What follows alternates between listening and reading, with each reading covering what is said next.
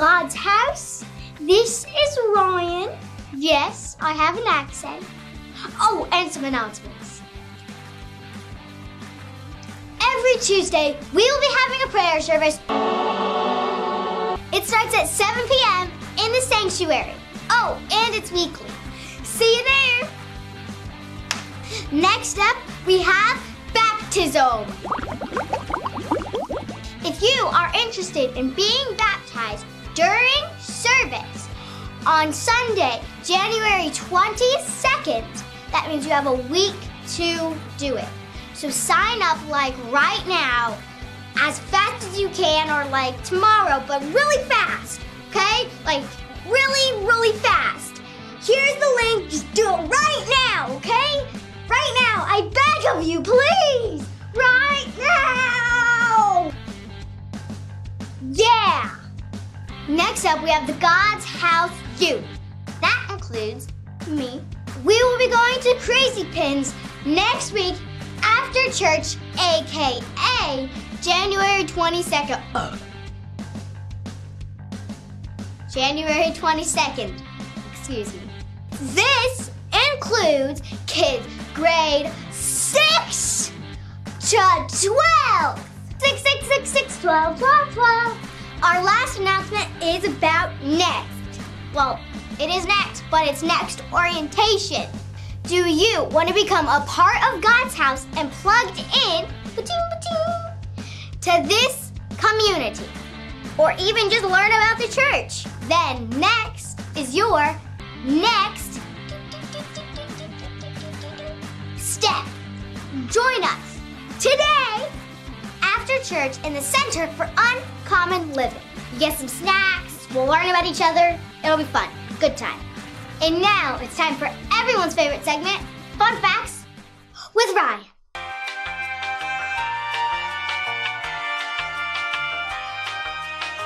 Did you know that the bad dogs in movies are actually good dogs trained to be bad? Until next week, this is Ryan signing off. Now you know what's next. Let's get pumped for the message! All right, all right. If you guys will stand to your feet this morning. Good morning. Welcome to God's house. If I haven't met you, my name is Pastor DJ, and I get the privilege of pastoring this awesome church. We also want to give a shout out to those who are watching online. Hey, hey, online audience. Thank you for those of you that tune in each week. Uh, some have asked online, I'm just going to talk to them for a minute. If you guys can just hold on. Some have asked online how they can get involved with our church. We meet here in Marion, Indiana, um, but also you can contribute financially on our website at visitgodshouse.com. So, can we give a shout out for everybody online? Now here now listen, listen y'all that are here. This does not mean you can stay home and not come to church. This is just for us to broaden our impact hopefully around the world and actually our friends in Zambia, we have a partner church in Zambia and they watch our services here too. So this is really cool. The song we sang this morning, that song about one heart and one bride and one mind, uh, Wesley, our worship leader, actually wrote that song and he gave that to the team in Africa. So we're now singing same songs that our church has written both in the US and in Africa. Hello! That is amazing. And uh, you'll notice there's a jar up here. I'm just giving a little couple things here. There's a jar up here. If you ever want to contribute to what's going on in Africa, that is a way you can do it at any time in that jar up there. All right, so who's ready for the message? All right, so here's what I need right now as you're standing. I need 12 people who will come sit up on this platform while I preach. Oh, don't all run at once now. Come on, I need 12 people who will come up here and sit on this platform while I preach. Come on, anybody? I need 12. We don't want to be here all day. If you want to eat today, come on. One, two, come on. I need 10 more. Anthony, can you join me? Come on. And I need some people who aren't afraid to shout. Maybe you don't have to, but if you'd like to, oh, thanks, bro. Appreciate, appreciate it. Come, just have a seat anywhere you want. Come on, we got we got four guys. That's four. Four minus twelve. Okay, that'd be negative eight. Never mind. Come on down. Come on, thanks, babe. Look at the look at that lady. Come on now. Dave. Okay, where we at now? Five, six, seven, eight, nine. Janet, come on, Janet. Anybody else? Julian, you could come join your lady up here. I mean, come on, if you're to dress nice, you might as well be in front of everybody. I walked in this morning and he looked like that, and I said, I need to go home and change. I'm too casual. Is that 12? Here, you two want to come over here so you can be, okay. We need one more. Come on, where's the one? One person. Come on, CJ. Thank you so much for my illustrated sermon. All right, I, I, promise you I won't keep you standing too much longer, but if while you're standing you want to grab your Bible or it'll be on the screen, we are going to turn to Judges chapter 6. And we're going to read a lot of scripture today. So flex your muscles, flex your feet. You know you stand at times, right? It's all good. Turn your Bible to Judges chapter 6. If you don't have it, it will be on the screen, and we're going to have some fun this morning. You guys glad to be here? All right, I feel like this whole front section just emptied out. If, you, if anybody wants to come sit down front, you can do that too. All right, Judges chapter 6. We're looking right now at verses 1 and 2. We're going to read a lot of scripture this morning. So here's what I just want you to know I did for you this week. It's the new year. If you've been in church long, I know you try to, uh, to read your Bible. Usually at the beginning of the years when you get real committed, like I'm going to read my Bible. And I know some of you haven't done it. I, I just know you haven't. So I'm going to just give you enough scripture today to fulfill the last 15 days of the year, and you can start again tomorrow. All right? Judges chapter 6, verses 1 and 2. If you have it, give me a shout. Either, okay. Either it's real quiet up in here or we ain't got the scripture. So let's look at the screen. The Israelites did evil in the eyes of the Lord, and for seven years he gave them into the hands of the Midianites. Because of the power of the Midianites was so oppressive, the Israelites prepared shelters for themselves in mountain clefts, caves, and strongholds. Now turn over to verse 11 of Judges chapter 6. Stay in the same chapter. Jump down to verse 11.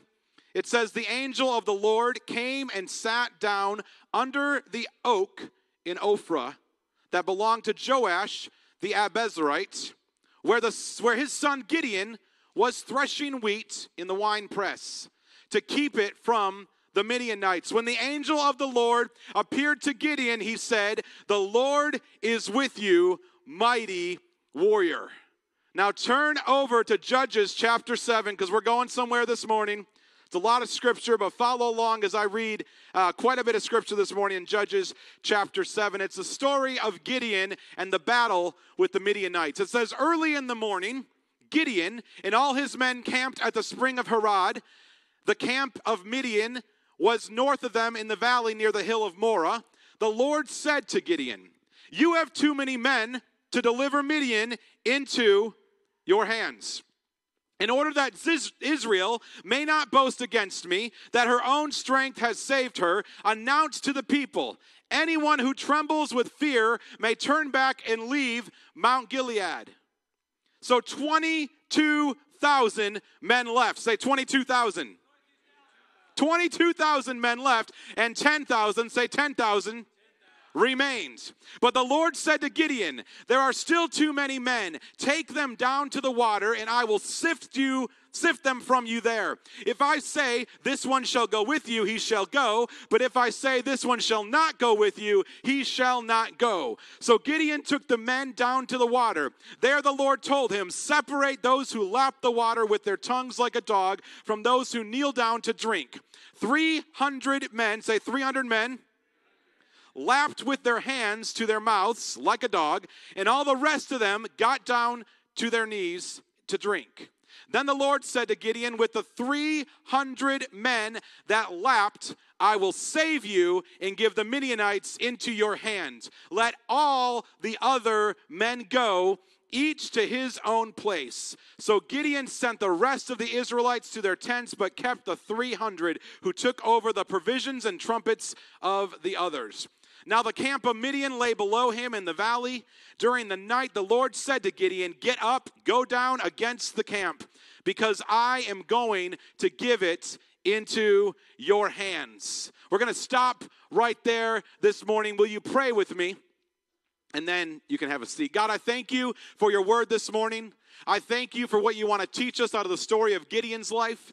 I thank you for what you want to teach us on this uh, Sunday that stands before a historic day in our nation, Martin, Le- Martin Luther King Day, on a day that we say as a church that we stand up against injustice and we speak out for those, those who don't have a voice. We pray today, God, that you would speak to us through your word and that you would reveal something new and fresh to us today so that our lives can be inspired and be changed. And we thank you for your word. In Jesus' name, everyone said, Amen. Before you sit down, slap someone a high five and say, Who's in your corner? Who's in your corner? Anybody? Who's in your corner? Who's in your corner? This morning, I want to talk to us on the subject who's in your corner. And it's no accident that tomorrow is Martin Luther King Day. A lot of you guys have the day off tomorrow. Am I right? Don't have to go to work. I hear some amens. Come on now. And but but the reality is the reason that we don't have to go to work tomorrow is because our nation observes the day 53 years ago where one man stood up to fight against the injustice towards race. And 53 years ago, tomorrow's the day we celebrate it, this man stood before the nation and said, I have a dream. And with him were millions of people who said, We stand with you and we will stand up for justice for all as Americans. And so that day is something we celebrate in looking at who God is and the character of God and how it was revealed through Martin Luther King, who was a pastor. We know him as Dr. Martin Luther King, but he was actually a pastor. And Dr. King had raised up an army of people who would go with him and would stand with him. But if you look at the army of people he raised up, in contrast to the millions of other people who didn't get what he had to say, you could say that Dr. Martin Luther King, like Gideon, was in a place where he thought he'd have millions, he ended up with thousands. Where he thought that he had his 22,000, and God said, No, I don't need all 22,000 of them for you to win this battle. I just need 300 people who are committed to the vision, and I can do great things through your life. And now, 53 years later, we live in a nation where racial inequality is getting better and better because one man stood up and said, I will fight for injustice regardless of who stands with me. In the more traditional churches, uh, if you grew up in a more traditional church, what you see on our platform this morning may be common to you. If you grew up in a more traditional church, especially if it was more in the charismatic or black church, am I right, Miss Annette? talk about it, you would have people that sat on the platform with you as you preached. These people were put up here on purpose. They didn't just come out of the, plat, the, the, you know, walk in the back door and grab a coffee and say, hey, I think I'll sit up there today. They were put up there because these were people who said, I've got your back. I am with you. I am for you. No matter where you go, I will follow you. I've got your back. And when the pastor would get going and get preaching and get real excited, before anyone out there would respond, these people would respond. Probably a little louder than that. I'm just kidding. They would do things, they would do things. Can I excuse just for a moment here? Can I just borrow your seat? Just sit out there and look pretty. Thanks, dear. Okay, cool. So She's my wife, if you don't know. I didn't just take someone's wife. Okay, so they would stand here and someone would be preaching. Do, do, do imitate me. Can you imitate me? Preaching? Yeah.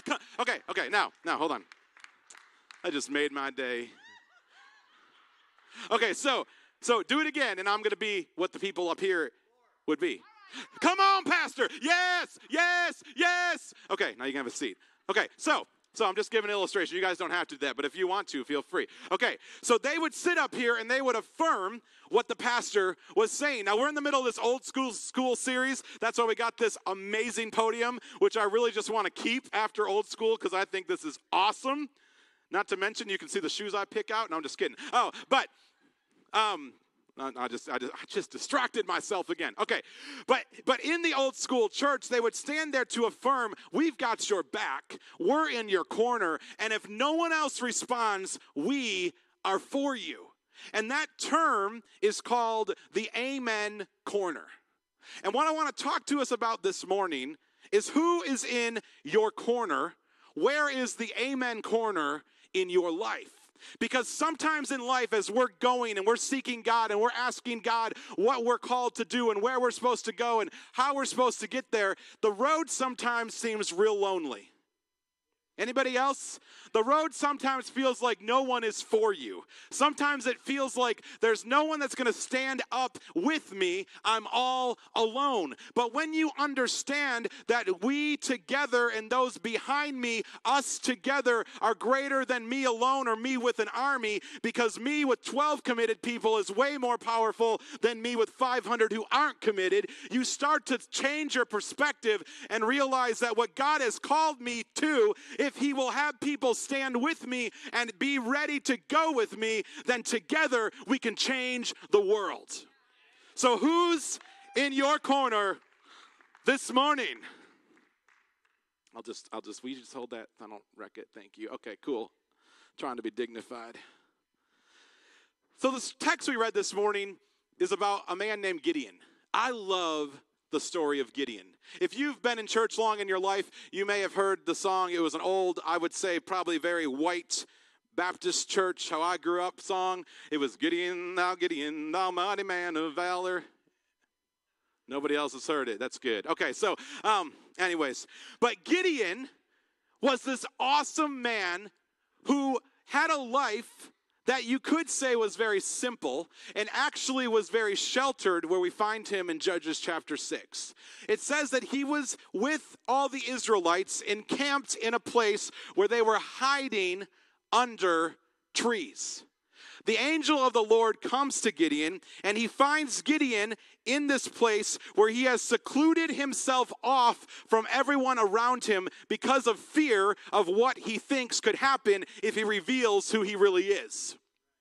And so God shows up to a man who's been beaten down and crouched down and hiding under a tree so not to be seen, so that no one can come and attack him. Because how many know that when you stand out in front, you're in a very vulnerable place? When you step in to the thing that God puts in your heart to do, something begins to happen, and haters gonna hate, and people gonna start talking bad, and they're gonna tell you that you're this, and you said this, and you never said none of it. And all of a sudden, everything that you thought you had to do, you stepped into it, and it feels like the world is against you. That's the place the Israelites were at this point. These are people who had seen the Red Sea part. These are people who had watched Moses pick up a staff or pick up a snake and turn it into a staff. These are people who had seen all these plagues happen to Egypt and all these things happen where God was delivering the people from Egypt and they watched miracle after miracle after miracle. And then we get six books over and they're like this. What happened to get them to a place where they're crouched up where no one could see them? I would argue they forgot who was in their corner. They forgot that they served a God who says, Greater is he that is in you than he that is in the world. And when you lose the reminder in your head that greater is the God who's in you than he who's in the world, you start to live in a way that you have to pull yourself in because you go, God, I can't do that thing you called me to do because what will people think? And the world's big, bad, ugly. I gotta help me. Now they're all gonna scream at me and it's gonna be so scary. And so I'm gonna get backed into a corner. The problem with the Israelites is they were backed into a corner. However, when they got backed into the corner, there was no support to keep them, to pull them back out of that corner.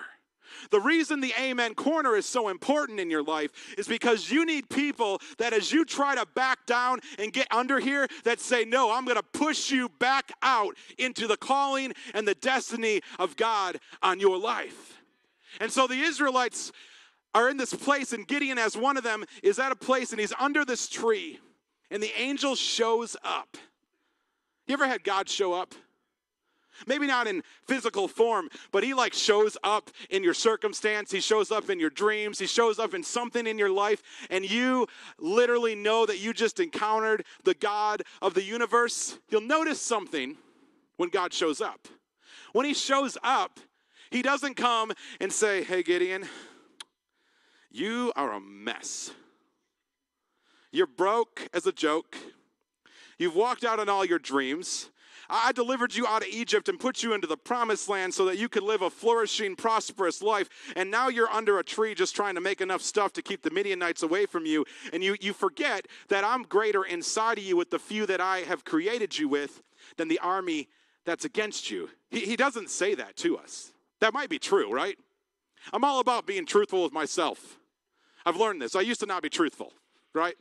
I used to just lie to myself. How you doing? Oh, I'm blessed. I am blessed. You kidding? I'm struggling. I'm hurting. Sometimes we can look at the reality in our life, right? We can, we can look at stuff and situations we're going through, and, and, and you try so hard to have faith, but sometimes you just got to be real. I remember when our son Weston was born, and he was a preemie, and he was born at 29 weeks and he was in the NICU for 42 days. And, and I was trying to convince myself every time someone said, How is he doing? that I would be like, Oh, he's doing great and he's awesome and we're just amazing. But what they didn't see was I was going home at night and crying myself to sleep because this little baby that was two pounds, five ounces was locked in a prison. And as a father, I couldn't even hold the baby that was just born. It was really, really hard. And I think sometimes we are in our lives, we try to just ignore the hardness. Life is hard at times. There are things that come against you that will hurt you, that will, that people will say things that will cause you to question everything in your life. Situations will happen to you that you just think, I don't know if I can make it another day. And I don't think it's not having faith to just acknowledge in your situation things aren't all amazing. But where we miss it is when God enters the picture. Because God doesn't show up to confirm your reality. God shows up to remind you of His glory and what He can do in and through you. And so God comes to Gideon and He says, Hey there, mighty warrior. Now, if you know anything about battles and you've watched, you know, Braveheart and some, some war type movies, typically when there's a battle, you don't see the soldiers like this. Shoot, that's the truth. They would get shot if they were like this, right? Like this is this, this is not a position of a warrior. What is a warrior position? Where's my yoga people? Anybody? Anybody know yoga? Isn't that a, isn't that a position? That Miss Janet's a warrior, uh, not a warrior. We are a warrior. You're a yoga person. Can you show us the warrior posi- warrior pose? Come on, Janet. Yeah. I just love I love I love to put Janet on the spot. This is so good. If you guys don't know, Janet works for our church, and she's actually, I really, Janet runs the church.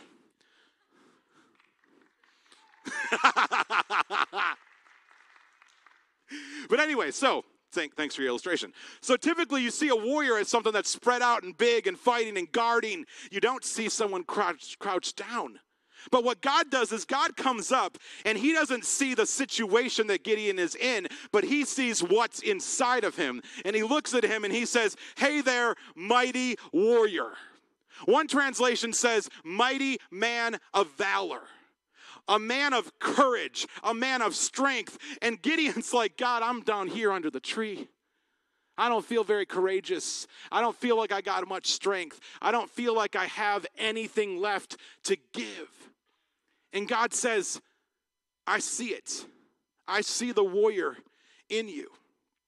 The whole rest of Judges chapter 6,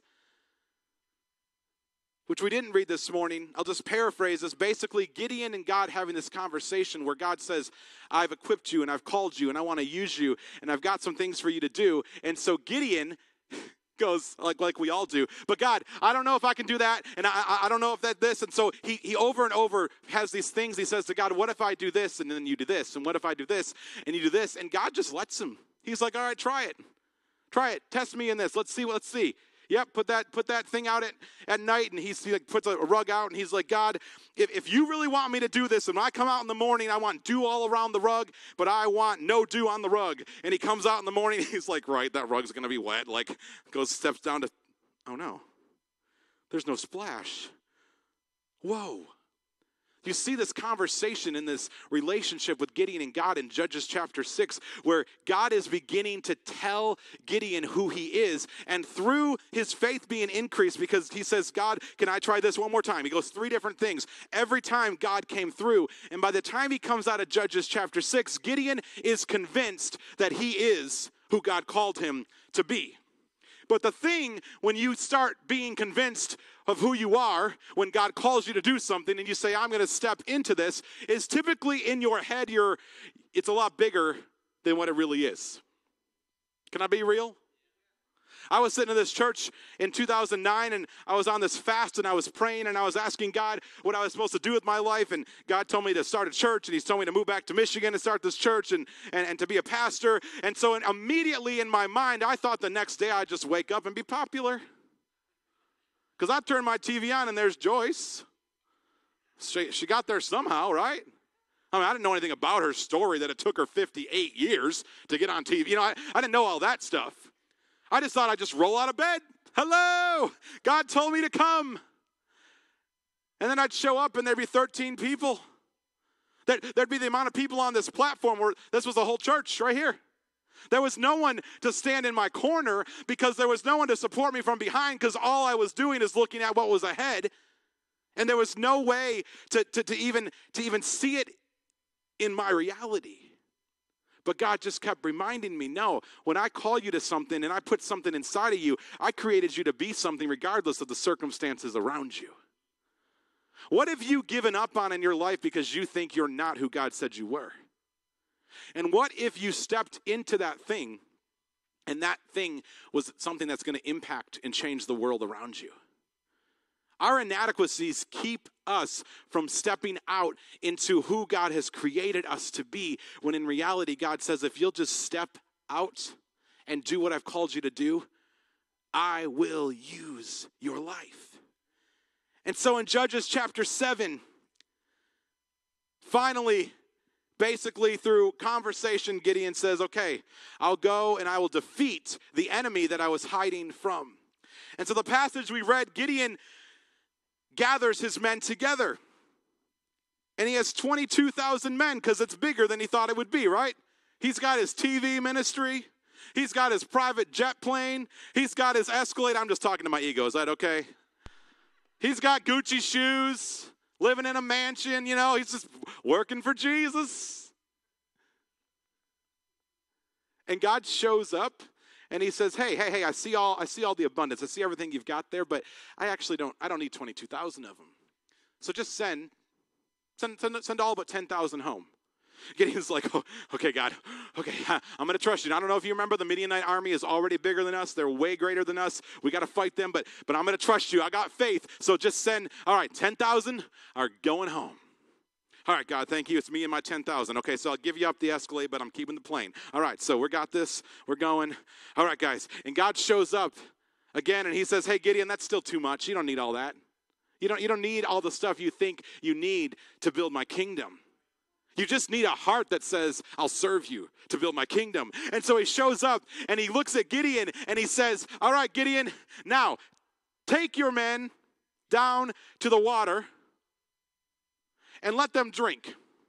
All right, God, we're going to go get some drink. We think we're going down to get refreshed. And so we get down to the water, ready for the drink. And God's like, now observe how these guys drink, which I think this is hilarious, all right? He says, now observe the people who lap like a dog. Okay, I'm, I'm observing those people. They bring, I'm looking at them and I'm like, y'all crazy? You crazy. Thank you, Jesus, for those 9,700 people that know how to drink water right. You know what I mean? They got the whole like, I don't know, that looks more like a dog too, but anyways, like they, you know, like like they, they know how to do it right. They, they don't look crazy. And God looks at him and he goes, All right, the 300 who lap like do- dogs, those are your men. Now, if you're like me, you're like, no, no, no, no, no, no. Okay. All right, I gave you the 12,000, kept the 10,000. I'm not giving everything else up, God. Have you seen the way they drink water? They lap like dogs. You didn't call me to defeat the Midianites with a bunch of dogs. You called me to defeat them as a mighty warrior. You called me a mighty warrior. Why on earth would you use me with a bunch of dogs? And God goes, Because I use the weak things of the world to shame the strong. I use the foolish things to confound the wise. When I show up, people look and they go, How in the world did that nobody out of nowhere raise up and start a church? How in the world did one church in Marion, Indiana start three churches in Africa? How in the world do we have a Center for Success that is growing, that has up to five locations next year? How did it happen with a bunch of nobodies? Because when there's a bunch of nobodies who are passionate, God can change everybody. I feel like I need to say that again. When there's a bunch of nobodies who are passionate, God can change everybody. And I'm, and I'm not saying don't take this demeaningly. You're not sitting here this morning and I'm like, God, these are the dogs. It's not that. It's not that. But I know because I've lived long enough in my 31 years of wisdom that all of us have times in our lives where we feel like a nobody, right? But look around you. You're part of something greater than how you feel. Because when God shows up, he does through you what he's going to do. And if you keep reading in Judges chapter 7, he takes Gideon with these 300 men and he divides them by three and he sends them in. And what happens to the Midianites is they don't even have to fight these guys. Just them showing up, the Midians turn in every direction and flee from them. Because when God's in you, you don't have to fight the battle. As I said last week, He fights the battle for you. When he's with you, you show up thinking, "Okay, I got my dukes up. I'm ready. Here we go." And God's like, "No, no, no. You, you, don't have to. You don't have to fight me. You don't have to fight the people. I greater am I who's in you than he who's in the world, and so I will fight for you." And so Gideon finds himself in a place where he's with the few, but the few make the difference. If you're taking notes this morning, here's a few things I want you to write down. I promise not to go too much longer. But here's some things to write down. First thing is that you cannot be effective in your life if you stay secluded because of your insecurities. If you crouch down here, you're down here, God, I just don't know why my dreams aren't coming true. Lord, you told me to start that business, and I'm just believing you to help me start that business. Been just right here believing you for 42 years. You told me to you told you told you told me to help that person. I pray you would send someone to help that person because you know I, I, I, if I give up my Starbucks to help that person, then I'm I'm I'm irritable when I don't have my coffee. Well, well but, but God, I, I know, I know, I know you told me. I know you told me if I put you first, everything else will fall into place. But here's the thing. Here's the thing. I, I don't want to get out of bed a half hour earlier to seek you. That, that's too hard. It's really, it's hard, God. Anybody else? It's hard, Lord. Uh, it's, it's really hard to have to like have to choose to, to take pay cuts to follow you. It's not all glitz and glamour when you follow him. It's real. You struggle at times. There's sacrifice. But what you see God do through you is so worth it that you don't care about all the crap you gave up to get there. It doesn't matter. But if you stay crouched down in your insecurities, you will never be effective. I was reading this morning about Martin Luther King. I didn't know this. Did you know that MLK struggled with depression his whole life? What? As someone that has a person that has struggled with, I haven't struggled with depression, but I've struggled with anxiety. There's often times where the things in your life that are going on inside of you make you think, well, I'm not qualified. I went to 48 prayer services, God, and I haven't been delivered. So I guess you just don't want to use me, so I'll just crawl back in my hole. What if MLK had said, Oh, I'm depressed? I, who am I to get up there and say, I have a dream when I sit on my couch and I just see a black cloud over me every day? Who, who am I to stand up there and declare justice for a nation when, when, when I should be checked in somewhere because I feel so inadequate? But see, when Martin Luther King stood up at that podium, I was watching his speech this morning, just trying to refresh my memory on it. You notice if you go home and YouTube it, he's not standing there alone. There's faces all behind him. See, that depression probably tried to back him into a corner. But instead of being under the tree, backed into a corner alone, God said, No, no, no, I got 300. They're standing here with you. I know you're trying to change a nation of millions of people, and I know that people are against you, and I know they're attacking you and they're persecuting you, but I got 300 and they're standing up behind you. And when you're tempted to back down because of your insecurities, God's like, no, no, no. I've put people in your life to pull you out and push you forward. The second thing to write down is that your expectations define your limitations or your strengths? You choose what they define. So many times in my life, I let my limitations define my expectations. And my expectations define my limitations. And so it's this vicious cycle of going around the mountain. I can't do it, God, because my mama didn't do it and grandma didn't do it. And you didn't ask them to be a pastor. Why'd you ask me to be a pastor? And you didn't tell them to go to Africa. Why do I have to do stuff in Africa? And you, you, you didn't ask them to start this place that all this time and it takes all this work. And I don't, I, I got this after school network and I have to go to meetings and I can't even, I don't even get paid, God. And oh, it's just, and God's like, shut up. Does he ever say that to you? Because I don't think of shut up as a bad word in my house. Maybe I will when Weston gets a little older. So, but like, God's like, whoa, whoa, whoa, whoa, whoa, whoa, whoa, whoa, whoa, whoa, whoa, whoa. You didn't do it because of all the stuff. You didn't do it because of who didn't did it. You did it. You did it. You did it because I called you to do it. And if you will stay the course and you will continue in it, I'll fight for you. But I think in my life, I would be limited if I didn't have people who pushed me forward. The staff of this church is incredible. The elders, the coordinators, man, I, I don't mean this wrong, so don't take this wrong. But if no one in this church ever said, hey, that was a great message, that really impacted me, or whatever, I'm actually really cool with that because our staff and coordinators are so encouraging. They send me texts, they send me notes, they send me things. Uh, it's this place where I feel like I've got this, this army behind me. I've been in a place in my life over the last year because we've had some stuff. Anybody have stuff? And what was awesome is for a while they just kind of they kind of let me sit in it. Kind of like God with Gideon. Okay, if you, try the rug again, it's still dry, Gideon. I, I know that you can do this, but if you don't think you can do it, so they kind of let you sit there. But over the last couple months, there's been more challenge. Like, no, we know you got this in you. You know you're called to do what you're doing. It, it, all your failures only set you up for greater successes later.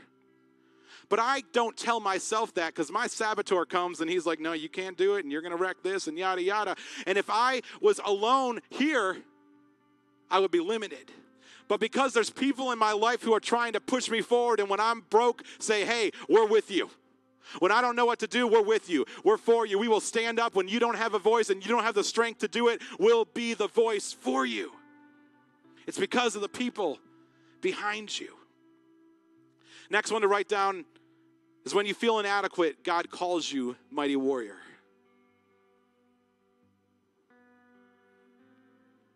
Where do you feel inadequate in your life this morning? It's okay to define it. But then look at it through the eyes of God who says, I don't see that inadequacy. I see what's in you. And the last one to write down this morning is the limited number of people in your corner does not thwart the plans of God to effect major change through your life. The story of Gideon is so interesting because it starts off down here and then it gets really glamorous and he gets the battle. Like old testament that's huge to, to have warriors right? Like that wasn't just like like god knew what he was doing to let gideon have the army of 22000 when kelsey and i first got married and started our first church in michigan we lived in a time of i'm just being real financial prosperity like i've never seen and we were 27 and 24 27 and 24 and someone gave us a 6000 square foot house God told us to give you our house. What? That, that kind of stuff, right? You're like, what? That doesn't happen.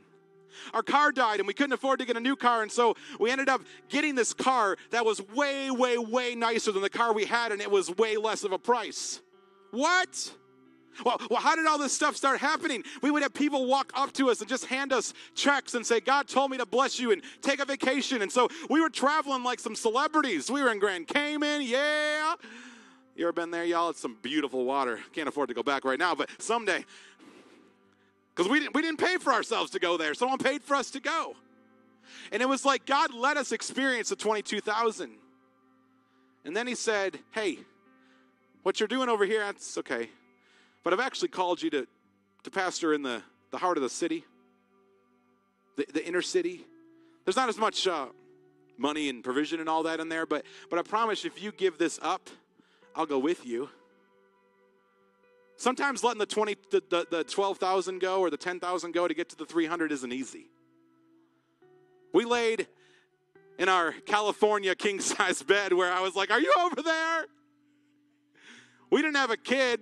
We had two kitchens, four living rooms, three dining rooms. It was nuts. And I'm not saying this to brag, I'm saying this to tell you something. I'm so grateful for that season because one, it taught me about the generosity of people and the generosity of God. You want to talk about being humbled when someone sits in their office and says, This office is going to be yours. Oh, and by the way, I know you can't afford to furnish the house, so God told us to leave all the furniture and we're just going to buy new at our next house. I've never, never, ever seen the generosity of people like that in my life. We had 13 people in our church, and they'd come over to the pastor's house. It was embarrassing. Don't worry, it's not the offering, I promise. right? But then God said, stand up in front of the church and just tell them we're going to go into the heart of the city. And we're going to go help people that are broken and lost and hurting and they can't afford to keep your house. Not that we were paying for it, but they can't they can't afford to keep blessing you like people have blessed you.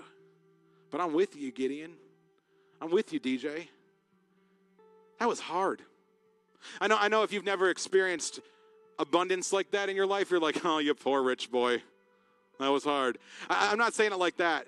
What I'm saying is that when you've experienced so much blessing and then God says, hey, I'm going to change some circumstances and I'm actually going to have you move from a 6,000 square foot house to a 570 square foot loft. It was a nice loft, but 570, our whole loft would have fit in our master bedroom in our house. And you show up and you live in this community, and the very community that we moved into was actually the community that helped build our church. If we had never moved there, we wouldn't have had the church. But that process of getting rid of the 22,000, it was hard. It hurts. It took so much trust. We were living in a free house and went to a place where we had to pay rent.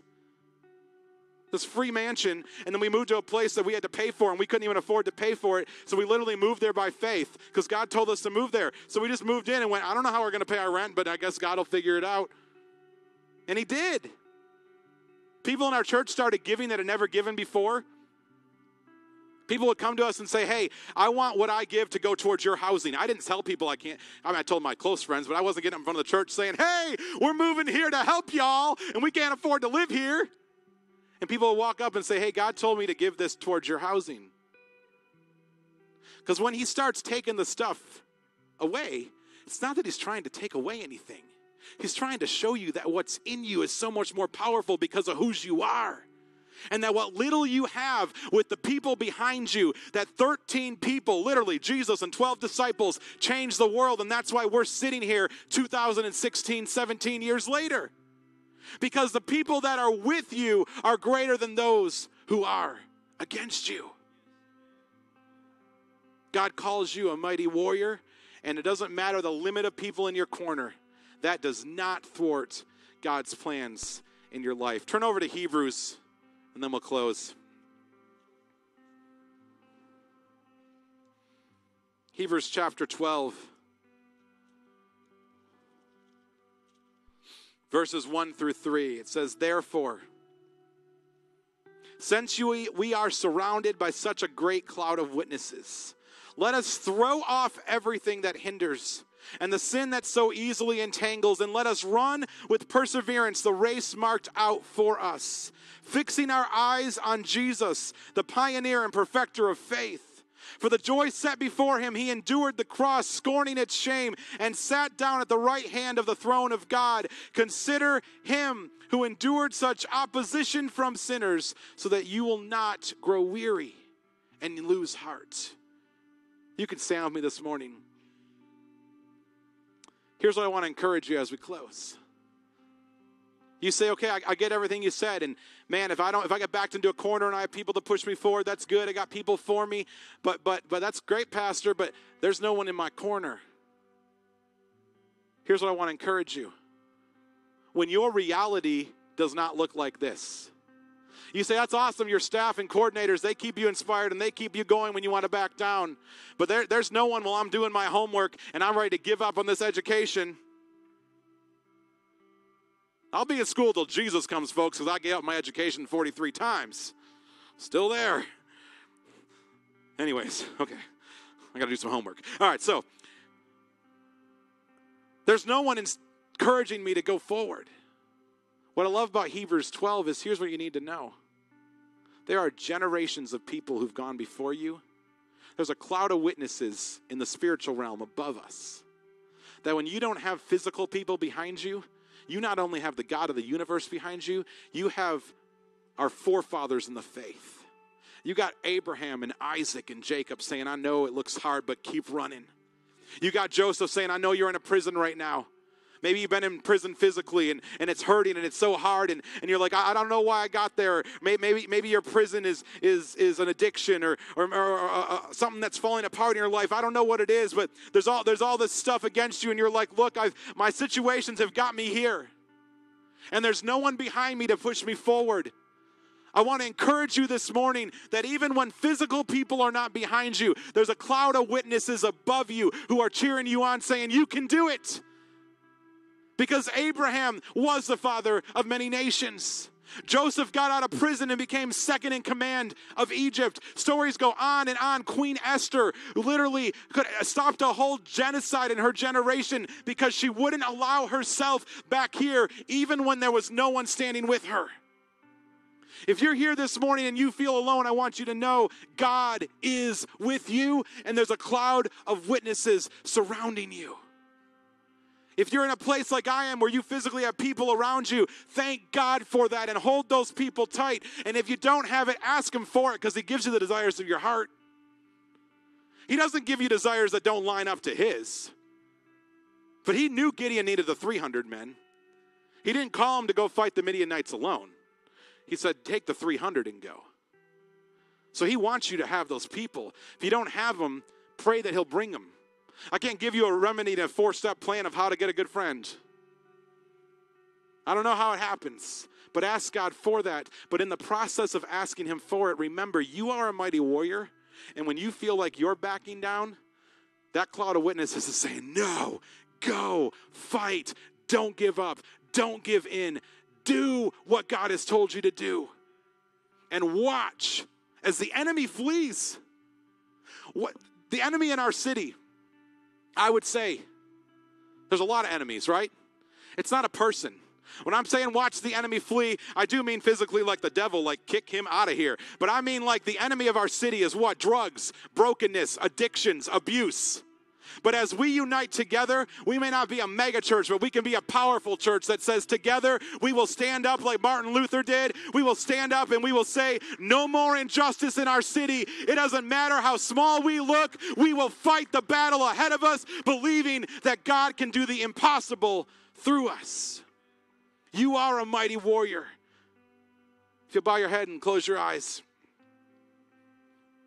No matter how alone you feel right now, you are a mighty warrior. I believe that's just that's just something from God to somebody here today.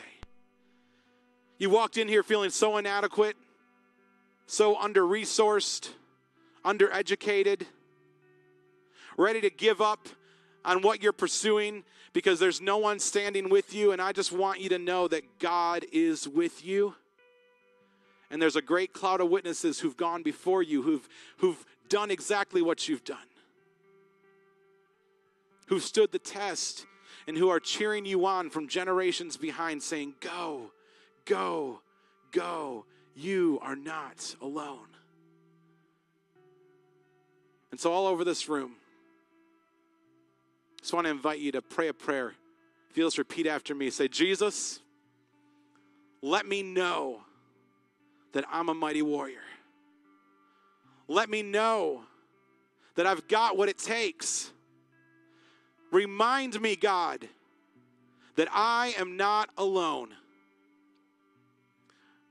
Bring me the people I need in my corner. Raise me up like Gideon, small but powerful, inadequate but unstoppable. Bring the people around me that I need for you to use me. And in the process, remind me of your love and those who've gone before. who are for me and waiting for you to break through whatever needs broke through. So today, God, once again, I surrender to you. I give up my own and I rely on yours. Help me to stop trying on my own strength and rely on your strength. Use my life to bring you glory. In Jesus' name, amen and amen. If you received that this morning, you put your hands together and thank God He's for you. You are a mighty warrior. He's in.